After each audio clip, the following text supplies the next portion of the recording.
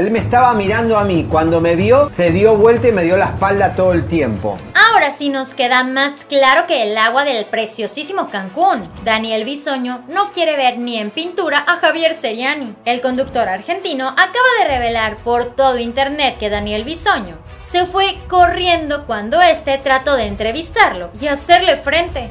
Me doy vuelta y ya se había escapado, salió corriendo, se escondió en un camarín. Seriani relató cómo en un concierto de Cristian Castro y Mijares en Los Ángeles se encontró con Daniel Bisoño. Seriani tenía toda la intención de entrevistar a Bisoño, pero cuando este lo vio, literalmente se fue y dijo, patitas, ¿pa' qué las quiero? Mirá, mirá, mirá lo cerca que estábamos. Bueno, yo iba a ir a entrevistarlo. Javier Seriani le explicó a Elizabeth Stein y a todo el público que él tenía toda la intención de entrevistar a Daniel Bisoño para hablarle acerca de su orientación y del supuesto novio que tiene. El reportero de Ventaneando de acá, Los Ángeles, chaparrito, canoso, digo, ese es Bisoño. Javier Seriani dijo que la única intención que él tenía era entrevistarlo, que le dijera las cosas de frente, porque en un momento Daniel dijo que en cuanto viera de frente a Javier Seriani, se lo iba a agarrar a ya sabes. Más nunca salió hasta que apareció en el concierto. ¿eh? Todo comenzó cuando hace varios meses Daniel Bisoño, en plena emisión en vivo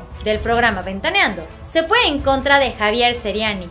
Literalmente Daniel le dijo de todo. Comentarios subidos de tono, malas palabras, los cuales fueron calificados por los internautas y el público en general de una manera muy muy fuerte. En su momento Daniel Bisoño le dijo a Javier, con un pobre como ese que no da una y se tiene que andar buscando notas falsas todo el tiempo. Perdónenme, pero es un atroso, malpente y malnacido. Como era de esperarse tras esos fuertes comentarios, miles y miles de personas, al menos en Twitter, se fueron en contra de Daniel Bisoño. Varios rumores afirman que Javier Seriani está buscando a una aliada, que tampoco se lleva muy bien que digamos con Daniel Bisoño.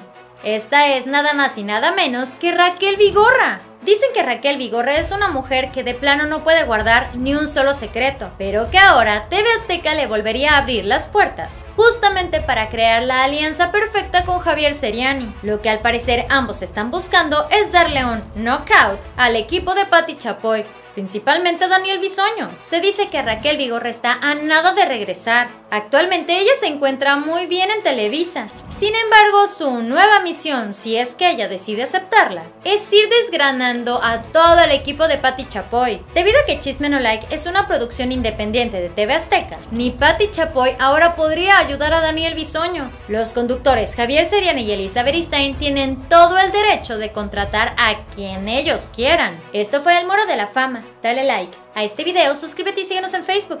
Pero antes de que te vayas, chécate este video. Espero que tengas un excelente día. Nos vemos muy pronto. Bye.